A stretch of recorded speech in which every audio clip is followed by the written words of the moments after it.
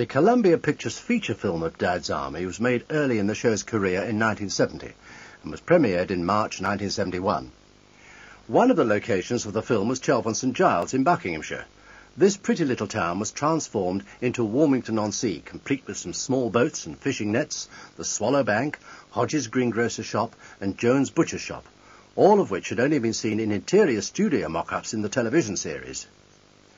Another location was Chobham in Surrey, where one hare racing scene caused John Laurie to finish up with very badly bruised ribs. A white horse had to cross the river on a raft with our heroes on board. The raft was being towed downstream by way of ropes that were handled from the river bank, but the rather jerky movements of the tow lines unbalanced the horse and it slipped and fell, hitting John Laurie.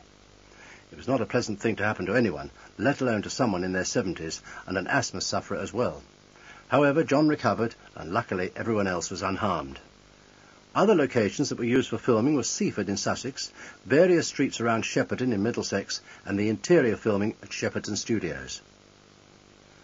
The film was produced by John Sloan and directed by Norman Cohen. It was not an easy assignment for the director or the actors. Columbia Pictures were determined to make the film on time. Eight weeks was their target, although it did take a little longer. Jimmy Perry and David Croft, the writers and advisors for the production, spent a great deal of time and energy trying to make sure that the film was kept in the 40s style. It was, of course, not so easy for an American film company to think of the era in the same way as we did. With the television series, David and Jimmy and all the crew knew the actors well, and they always ensured we were comfortable and happy and not being hurried into our work. But the feature film was a slightly different matter. The producer constantly put pressure on the director to get so many minutes in the can per day, and this in turn pressurized the production. Actors tend to find amusement in off-screen incidents, and one such occasion was when Arthur Lowe was given a rather heavy and cumbersome revolver to use, without ammunition because it didn't actually have to be fired. Arthur commented that as this was the case, could not the prop department find a plastic replica which would be easier to handle and quicker to get out of the holster he was wearing? The prop department said they didn't think they could, so Arthur decided to look for one himself. He ordered a unit car and, accompanied by one or two other actors, including Paul Dawkins, who was playing the German general, drove from the studios to the nearest Woolworth store. The sight of a large limousine pulling up outside Woolworths and Arthur plus the German general in full military uniform caused a few raised eyebrows among the passers-by. The Woolworth staff were even more surprised at being confronted by Captain Mainwaring and a German general asking for a plastic revolver. After all that, the store couldn't help, and Arthur, with his uniformed entourage, left the shop, muttering, You could always buy a sixpenny pistol in Woolworths when I was a lad. There were some very funny sequences in the feature film, although it didn't have the overall atmosphere of the television production. It was not an expensive film to produce, and all of the actors and production team associated with it have agreed that it has improved with age. The public certainly enjoys it because some of them have gone out of their way to say so each time it is shown on television. The official London premiere of the movie took place at the Columbia Cinema in London, and we all did some publicity appearances for it at various cinemas around the home counties, in 1970, it was just another sequence of events during the reign of Dad's army, but we all had to get back to work quickly in the television studios to make more episodes for the small screen. The stage musical of Dad's Army was a major event in our lives in 1975 and 1976. We had heard about it some time before, but in no great detail. We were all asked whether we would be available and if we wanted to do it. Lord Delfont, who had already presented many large-scale musicals and pantomimes, was to combine with Triumph Theatre Productions in putting on the stage show. The television series was popular with the public, and they all thought it would be a good box office attraction. All the principals and regular supporting actors would be in the show, with the exception of John Laurie, who felt that working in the theatre every night and travelling between Buckinghamshire and London every day would be too tiring for him. A replacement also had to be found for Jimmy Beck, who had died two years before. There was no question that John or Jimmy could be replaced, but their characters had to be reproduced. It was not an easy task, particularly for the actors who would be playing the well-known parts of Frazer and Walker, as they needed to create personalities of their own, which is very important on stage. The two actors who were eventually cast in these difficult roles were John Bardon as Walker and Hamish Roughead as Frazer. It was while we were filming the television series that Jimmy Perry informed us what the show would be about. Jimmy is a very enthusiastic person at the best of times, but when he is in a dynamic mood, perhaps charged with a glass or two of red wine, is unstoppable. He asked Frank Williams, Ted Sinclair and myself to come up to his room at the Bell Hotel in Thetford, where he could explain the details. Once Jimmy had started, he gave us a solo performance of the proposed show. He dashed about his bedroom, leapt on the bed, rushed to the door, and went in and out of the bathroom, depicting various scenes demonstrating various acts, playing all the characters and singing all the songs, until he finally sat down in his bed and said, Well, how does that sound? Ted Sinclair, who had sat motionless through it all, said, I'm tired out, and the show hasn't even started yet. Rehearsals for the show were held at the Richmond Theatre, the lovely Victorian playhouse in Surrey. The director was a young man called Roger Redfarn, who had, among other things, been artistic director at the successful Belgrade Theatre in Coventry. David Croft and Jimmy Perry were obviously going to be very much in evidence, advising, suggesting, and keeping a close eye on the production. The musical director, who was in charge of a large orchestra, was an American Ed Coleman. Ed proved to be a tremendous help to us as rehearsals got underway and afterwards during the actual production. For Ed cajoled, shouted, encouraged, and complimented the cast all in the space of a few minutes. On the first day of rehearsal, he got the whole company together and made us sing collectively and solo the first two bars of Somewhere Over the Rainbow. His experience was such that he could judge our singing range with that short burst of song. The choreographer was Sheila O'Neill, who had the task of teaching people of all shapes and sizes, some with two left feet like me, and several of them new to a full stage musical, but each and every one of us very enthusiastic. Also in the cast was Joan Cooper, Arthur Lowe's wife, who was to play Private Godfrey's sister Dolly, as she had done on numerous occasions in the television series. Eric Longworth, who had played the town clerk in several episodes, Michael Beavis, Norma MacLeod and Geoffrey Holland, who would be playing a mad German inventor as well as being part of the general production team. After three weeks' rehearsal at Richmond, we made our way north to Billingham in Cleveland for the out-of-town opening of the show. We were due to run it at the Forum Theatre there before moving into the Shaftesbury Theatre in London in the autumn. When we first arrived at the Forum, the stage doorkeeper was obviously confused about our names, for when John Le arrived, he greeted him with the words, Good morning, sir. Are you Arnold Dole? The extensive workshops of the Forum had made all the sets, most of which were quite complicated, and extra staff had to be drafted in to handle them. They were designed to represent the two sides of the English Channel, and consisted of two electrically controlled trucks that moved onto the stage from the wings. Corporal Jones was on top of one truck guarding the British coast, while the German general, played by myself, and the mad inventor sat on top of the opposite truck, looking out from France. In another scene, Private Godfrey would glide on stage on a truck that represented his cottage garden, talking to his sister Dolly about the current cricket scores, which to him were more important than anything else. On a different track, Field Marshal Goering would be extolling the virtues of the Luftwaffe and how they were going to blast the British out of the skies. The scene finished with Godfrey reciting Lords of the Air and the boys and girls forming a choir in the background. This was a very moving moment in the show, and it was played superbly by Arnold Ridley and Joan Cooper. During the technical rehearsal, there were moments of anxiety over whether certain equipment was going to work or a scene that had been envisaged on paper would prove successful in practice. One such scene was the banana production. Ian, Pike, was to be zipped up in a huge plastic banana and dash about asking people when he could have the elusive banana, not seen in this country during World War II. It was rehearsed and re-rehearsed many times. We would get to the theatre in the morning only to be told that for the next couple of hours only the banana people were required. The problems with the song were finally sorted out, and it proved to be a big success in the show, much to Ian Lavender's relief because he had been in and out of that plastic banana skin many times over. There was a very complicated production number called Too Late about the killing of General Gordon at Khartoum, which featured Clive Dunn recalling Corporal Jones' experiences as a young soldier. John Le Mesurier had a scene with Private Pike and his mother, which led into a Nightingale sang in Berkeley Square, sung by John. This was given all the experience of John's theatrical technique and proved to be one of those quiet but delightful moments that you occasionally experience in the theatre. Several of us were involved in a scene that concerned radio personalities of the 40s. Arthur Lowe did a very passable impersonation of Rob Wilton, with all the comic mannerisms of that great humorist. Pamela Cundell and Joan Cooper appeared as Elsie and Doris Waters, Gert and Daisy. Three of the girls combined in a very good presentation of the American favourites, the Andrews Sisters, and Arthur also played Mr. Lovejoy with Michael Beavis as Ramsbottom and Ian Lavender as Enoch from We Three in Happidrome, a huge radio success during the war. I was given the opportunity to portray the cheeky chappy Max Miller. I was slightly worried about performing this at Billingham, because although Miller had been a great bill-topper in his heyday, in variety at the London Palladium and elsewhere, he had never performed in the most northern areas of the country.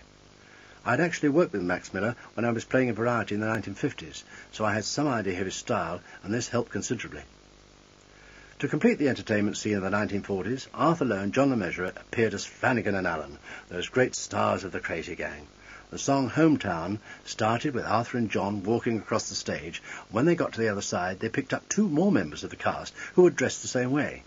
They then walked back again and picked up two more members from the other side, and so it went on with the whole cast eventually arriving on stage with those in the back rows carrying life-size cutouts of Flanagan and Allen and all singing Hometown. It was a tremendously effective scene. The only two members of the cast who were not involved in Hometown were myself and Geoffrey Holland. We followed high up on our truck commenting on the uncertainties of our future now that it looked as if the Allies were going to win the war. One of the most enjoyable pieces to perform was the Morris dance, which involved a disciplined routine that went haywire when it was performed by Mainwaring's boys, together with the warden who started arguing with Jones and brandishing his club, causing chaos until Mainwaring restored order. The white costumes, Panama hats, bells and colourful tassels looked most attractive.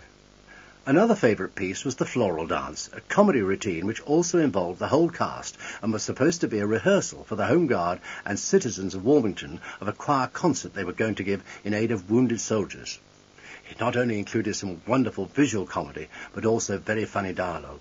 Both the Morris dance and the choir practice had been adapted for the stage from the television episodes, so we had a certain amount of confidence in performing them. The opening night suddenly arrived, and we just hoped that the packed theatre would receive the show well. We need not have worried, for apart from one or two minor technical hitches and overrunning a little, most people enjoyed it. The rest of our short stay at Billingham went well, with crowds coming in from all over the north east to see us. Once back in London, we were to open our West End run at the Shaftesbury Theatre. Some cuts had to be made during the two or three days' rehearsal at the Shaftesbury, as we were still overrunning. We had a few days of previews at the Shaftesbury, and then came the official opening night. The atmosphere was electric, with a packed house that included some friends and relations, and it seemed we would stay at the London venue for a while yet. Very early into the run, we were all asked to stay on stage after the show. We were then informed that we had been invited to take part in the annual Royal Variety performance at the London Palladium in the presence of Her Majesty the Queen and the Duke of Edinburgh. This was exciting news, and it was decided that we should perform the floral dance choir item, as this was not only a good comedy piece, which was going well at the Shaftesbury, but it also included the whole cast. There was to be a tremendous amount of security around the Palladium for the Royal Show, because there had been one or two bomb scares in London during the autumn of 1975. On a couple of occasions, it had affected our show. The audience was asked to leave halfway through a performance, and we also had to go. It was amusing to see Arthur Lowe in Mainwaring style saying, Right, follow me in, and off we would march up the road to the pub, where we'd have a drink before we were told that it was a false alarm, and then we'd return to the theatre to continue the show. When the weekend arrived for the Royal performance, we used the Shaftesbury Theatre as our base, and were shuttled backwards and forwards to the Palladium by coach for rehearsal. On Sunday and Monday, the day of the show, we were driven back and forth along Oxford Street with packs of sandwiches and flasks of coffee we were continually being searched and given identity papers. The finale of the Royal Variety performance must be as well rehearsed as any other item to ensure that the entire cast can fit on the stage. There was Count Basie and his band, the Rhos Male Voice Choir, KwaZulu dancers, the Billy Liar Company from Drury Lane Theatre, Telly Savalas, Kojak and his cabaret company, the cast of Dad's Army, plus all the other principals, Bruce Forsyth, Vera Lynn, Charles Aznavour, Jukes and Lee, Harry Secombe, and the huge orchestra. After we'd finished the final rehearsal on Monday, we were all dispersed to different buildings around the Palladium, because there's only limited dressing room accommodation there, and with over 350 people taking part in the show, we could not all be fitted in. We were called over to the Palladium from our hiding place nearby just before the royal family arrived. We were on stage early in the show, so had a long wait until the final curtain. We certainly saw the Duke of Edinburgh laughing at our performance, and it was an exciting moment to stand on the stage of the great theatre in front of the huge audience and in the presence of the royal couple. After the show, the entire cast were lined up and introduced to Her Majesty and His Royal Highness. A moment in the evening that made me laugh was when we were waiting in the wings for the finale line-up. I was standing next to Arthur Lowe, and next to him were members of the KwaZulu African dancers. Arthur and I were suddenly conscious that something was happening next to him. We looked around and saw one of the dancers next to Arthur breastfeeding a baby. Baby and its mother's breast were level with Arthur's eye line. Arthur did one of his double takes and then said to the lady, He enjoys a drink, does he? Another pause. I could do with one right now. Another happy occasion while we were at the Shaftesbury was the celebration of Arnold Ridley's 80th birthday. This was performed on stage with a huge cake and the national press in attendance. It was remarkable to think that this dear man of 80 was still playing nightly, plus two matinees a week in the theatre. By February 1976, we were told that we would be finishing at the Shaftesbury and would be making a long tour around the country. A few items would have to be changed and the scenery altered because at times we would be playing some much smaller theatres. The orchestra was also to be reduced but we were still going to have our wonderful musical director Ed Coleman with us. Clive Dunn was only doing half the tour as he had prior commitments, so Jack Haig was to play Corporal Jones when Clive left. We opened the tour at the Opera House Manchester, and then on to Blackpool, and then, in that beautiful weather of 1976, to Newcastle, Bournemouth, Birmingham and Nottingham, where we were able to get in some cricket practice. A match had been arranged for us to play when we arrived in Bradford, so we thought we should loosen up a bit first. At Nottingham, we practiced at the famous Trent Bridge Cricket Ground, the headquarters of Nottinghamshire CC. A few of us, including 80-year-old Arnold Ridley, had a gentle practice in the outdoor nets, and then went into the indoor cricket school. At one point, Ian Lavender was bowling to me and hit me fair and square on my big toe. Brian Clough, the Nottingham Forest football manager, was also having some net practice, and he drove me straight over to the football ground across the road and called the doctor to drill my toe, which had already turned black.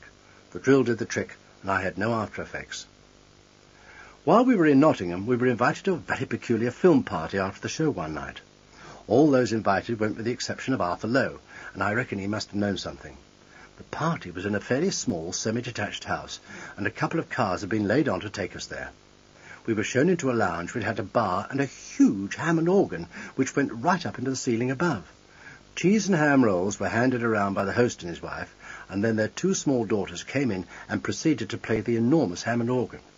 The whole house, and probably the adjoining house next door too, shook like crazy with the vibrations, and when it finished the little girls took a bow and went to bed. The host then asked if we would like to see some funny films.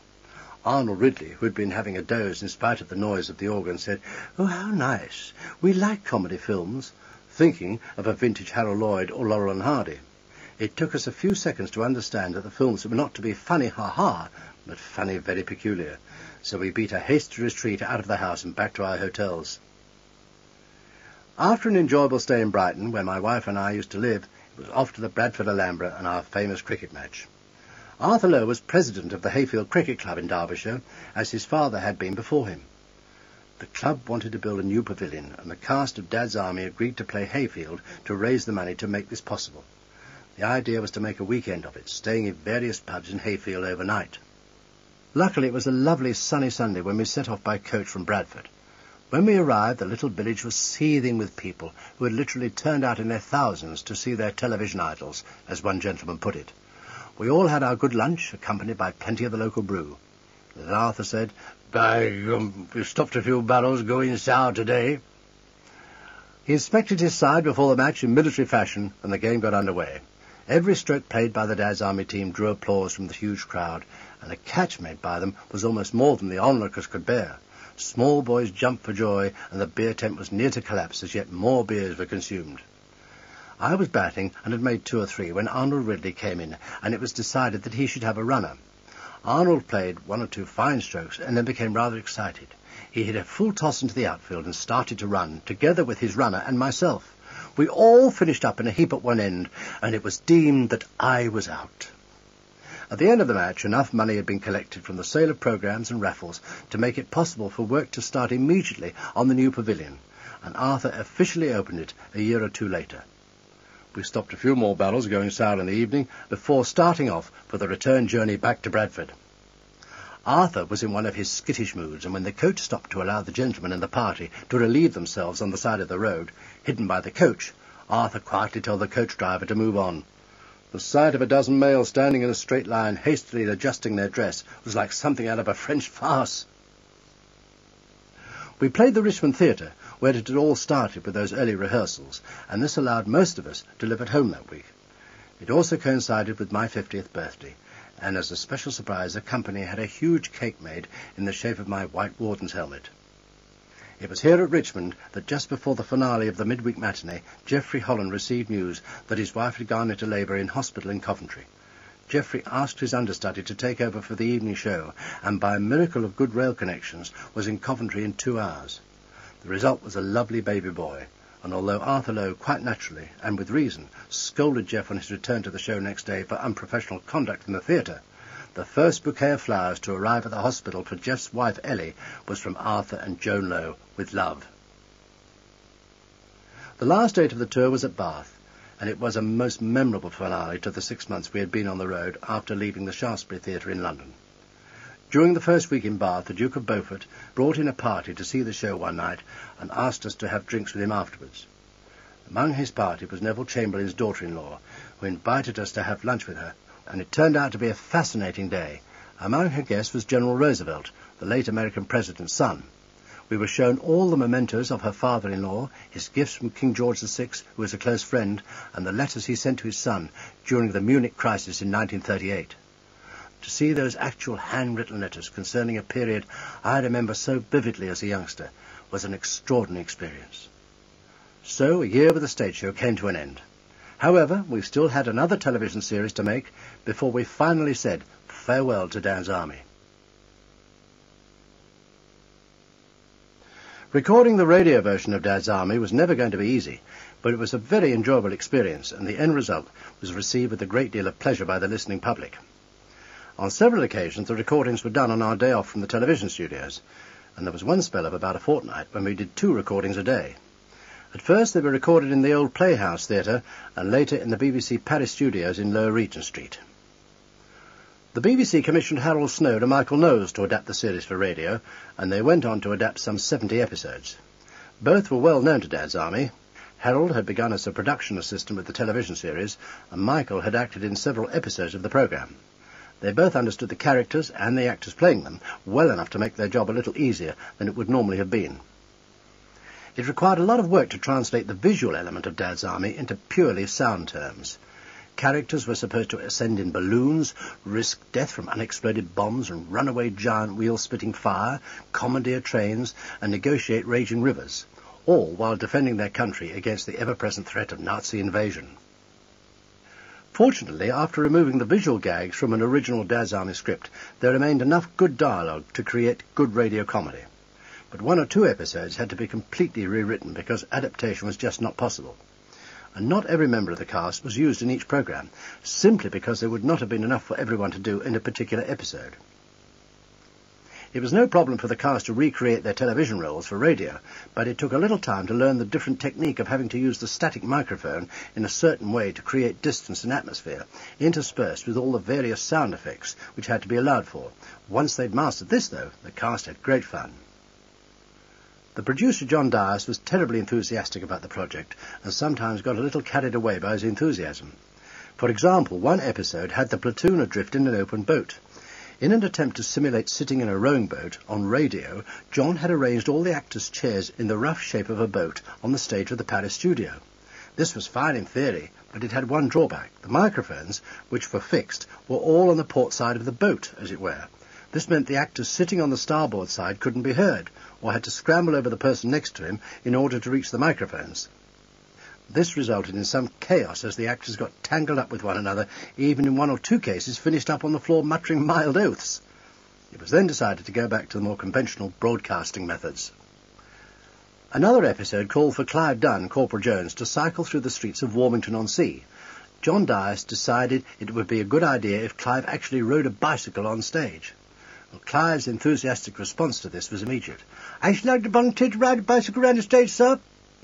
With that, he leapt astride the bike and attempted several circuits of the stage before the idea was abandoned as being not only too dangerous for the cast, but also for the audience.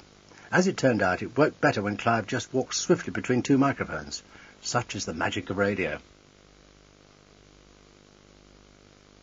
Although rumours were flying around in the summer of 1977 that we might be recording the last series of Dad's Army, I don't think it made any great impression on the actors, as we had heard the possibility before. However, when we had the final scripts in our possession, which were all very funny with some intriguing situations, the last episode did have a certain suggestion about it that the end might be in sight. We thought that if it was the end of the series, at least we would go out on a high note and not outstay our welcome with the public, who had shown so much affection for us, even including the baddie Air Raid Warden Hodges. In the entertainment business, actors are always moving to pastures new and are used to change, and it has to be remembered that Dad's Army had lasted for nine years. The writers, Jimmy and David, had done a marathon job in creating 80 episodes altogether, as well as the feature film and stage show. We had enjoyed the pre-filming of the last series at Thetford, the last episode of which, Never Too Old, showed our gallant lads drinking a toast to the Home Guard and Mainwaring declaring that men will always stand together whenever Britain needs them. The episode also included the marriage of Corporal Jones to Mrs. Fox, who incidentally was given away by Captain Mainwaring, so Jones had finally beaten his rivals for his sweetheart's hand. A nice touch by David and Jimmy was to include the wives and girlfriends, those with equity membership of the cast, to play the wedding guests. It was, in fact, the last ever episode of Dad's Army, and it had finished without fuss and with no dramatic ending, as generally happens in television series and soap operas nowadays. The series ended quietly, just as it had started in 1968. We had become a working family, and as all families, we enjoyed the social life connected with the series. We often had parties in our various homes and on Arthur Lowe's boat during the rehearsal and recording weeks in London. Arthur also arranged a marvellous day for us on a floating restaurant on the Regent's Canal. One memorable trip was when we went to Blackpool to switch on the illuminations. We assembled with our wives at Euston Station and were greeted by a gold-braided station master who showed us to our dining car. On arrival in Blackpool, we were given a civic welcome by the Mayor, and after various media interviews, we changed into our uniforms, ready to throw the switch that would illuminate the famous Golden Mile. It was now pouring with rain, but the job was done very cheerily, with a little assistance from a wee dram or two. We then boarded the open-top tram to make our journey, as is customary on these occasions, along the mile. In spite of the rain, the public turned out in great numbers to cheer us on our way. The evening finished with a dinner in the company of the civic dignitaries, it had all been quite an experience. A night to remember was when we received the BAFTA Award for the Best Situation Comedy Programme. Not only did we receive the prize from Princess Anne, but we wined and dined at London's Royal Albert Hall in the company of some of the great entertainers of our business. Sitting on the table next to us was someone we all admired, the American film star Ray Milland, there to present one of the awards. We had to wait in a tunnel, one of the many that lead up onto the stage, and when we were called, it was a memorable experience to walk on stage to the programme's signature tune, Who do you think you are kidding, Mr. Hitler, if you think we're on the run, etc., and to face the hundreds of people from our profession, and then to be introduced by Richard Attenborough to the Princess. As we walked off, the thunderous applause which greeted our presentation was still ringing in our ears. When the series did finally finish, I think it slipped the minds of the BBC hierarchy to give us the sort of send-off that would have been appreciated at that time. But the Daily Mirror stepped in after their television critic announced the news in his column. The Mirror invited us and our wives, plus a few friends, to a sumptuous dinner at London's Café Royal, and they presented us with medals which were inscribed for services to television entertainment. Speeches were made, some slightly ribald in content, and a good time was had by all. There was, however, more to come. Later we did get an invitation, from the BBC Board of Governors no less, to have lunch with them, and compliments about the series were sincerely given and gratefully received. At the end of the nine years, we had been blessed with two writers and a host of backroom boys and girls whom we will always remember with great affection.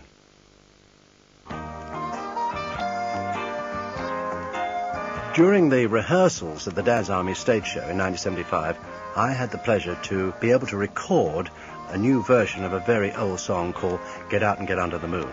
And I did this with one of the chaps who was in the Dad's Army stage show called Norman MacLeod. When you're all alone, any old night, and you're feeling out of tune, close up your flat, get out and get under the moon underneath the bright silvery light. You'll be feeling better soon. Pick up your hats, close up your flat, get out and get under the moon. Oi, you over there! Put that light out! Oh, I shan't tell you again! I've got no respect for the law. This is a nice song. It is. The last time I sang this song, they came flying over in their hundreds. What, the Jerrys? No, pigeons. Where was that? Huddersfield. Got a lot of statues in Huddersfield. Oh? Same thing happened in Clacton. Were they the same pigeons? I don't know. Mr. Hodges, you know, you've got a quiet sort of voice. Well, I'm a quiet sort of person. You have to be if you're a chief air raid warden. Hoy! Put that light out! Hooligans! Here. I think I could hear them coming over again. What, the pigeons? No, the Jerrys. Oh, they won't be over tonight, mate. It's too bright. Look, look, look at the stars above. Look, look, look at those sweet as love.